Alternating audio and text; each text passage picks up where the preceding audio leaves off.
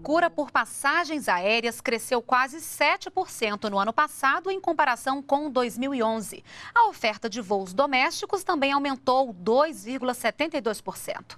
E a taxa de ocupação dos voos passou de 70% em 2011 para 72,95% em 2012. As informações foram divulgadas hoje pela ANAC, a Agência Nacional de Aviação Civil.